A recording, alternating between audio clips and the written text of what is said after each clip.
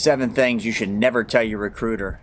Or at a minimum, keep your mouth shut. Think about it before you say it. So stand by. Got a lot of experience with recruiting commands, and I know quite a bit about recruiting. So there's a lot of folks out there I think are giving you some bad information. First thing is remember the recruiter's job, right? Recruiter's job is to get you signed up, get you through MEPS, and get you to basic training.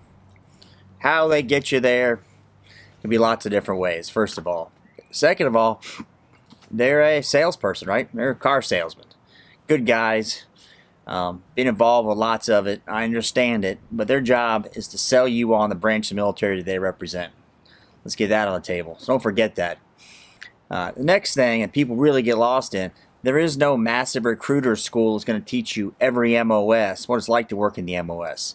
They're going to get these guys acquainted with MOSs. There's some stuff they're just not going to know about. They're going to be able to read the description like you would and say, here's the job. So do yourself a favor and do some homework on this. Don't expect these recruiters to know everything about every MOS that's in the, the Marine Corps, for example. So let's get that on the table before we talk about the seven mistakes people make talking to the recruiter. Things you shouldn't just tell them, right? And you should not tell the recruiter. And I'm not saying lie. I'm just saying keep your mouth shut. There's a lot of crap going around the internet, around YouTube in particular, about this. And I want to demystify with the truth. The first thing is you're not a doctor. And unless you've been diagnosed by one, or you are a doctor, you don't know if you had asthma uh, your bumps and bruises are part of life. Don't get into every problem you've got because they're going to have to document this. Again, don't lie, but you don't need, to get into every time you wheeze when you were three years old. Your mom told you about it. So remember, unless it's been put into a chart or you've been diagnosed with it, you don't have it. Again, don't lie. Use common sense here. Don't make this into a problem that it's not by when you get to MEPS, all right? That's number one. Number two is you tell the recruiter, I just want to get out of this S-hole town I'm in. I want to leave as soon as possible. They can do that. They will get you on and, uh, and, and get you in a job, get you in an MOS. But it may not be what you want, right? So if you want to leave as soon as possible, by all means, go at it. But don't tell them that. They're going to get you whatever job fits the billet to get you in the military, to get you shipped out, to get their quota met, so they can get on to the next thing, get promoted. So don't tell them that if you want to, try to keep, again, this goes back to point zero. Keep your mouth shut and think before you speak, okay? It's really important. I wish I could tell myself this looking back. Number three thing, similar to part one, it's not documented in your medical chart or in a legal record somewhere. There's no record of it. It didn't happen. You don't need to go into every time you stole oranges from the neighbor's tree or the time you think you remember smoking pot. If you haven't popped positive for it, it's not a medical record, not a legal record. Maybe keep it to yourself, keep your mouth shut. Again, I'm not saying lie. Gauge brain before gauging mouth sometimes, and this is going to get you a lot further with this stuff. You create more problems for yourself if you get into every time you did something that's going to, you know, smoke pot or did a drug, going to go down the path of another waiver problem and maybe create problems for you. So think about that before you speak to the recruiter. Hey, if you like the content, do me a favor Please subscribe, hit the bell notification so you know when new videos come. Fourth thing is, remember, these recruiters aren't your friends. They're not your buddy. You don't need to tell them every personal problem you got. Every girlfriend problem, every potential domestic issue, every girl you knocked up. You don't have to lie to them. Just answer the questions. With a yes or no answer, you don't have to expound and get into long details about it.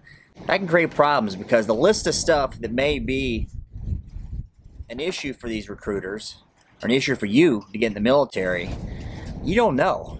It's a moving target. Okay, so keep your mouth shut about your personal problems. If you got them and it's enough an issue, you feel like got to tell them. You don't want to lie to these people. Again, but you don't need to expound on stuff that's just not relevant to you joining the Navy. Number five thing you don't want to tell the recruiter is to go tell them to F off because you don't like the information they're giving you. These guys, again, are trying to get you in.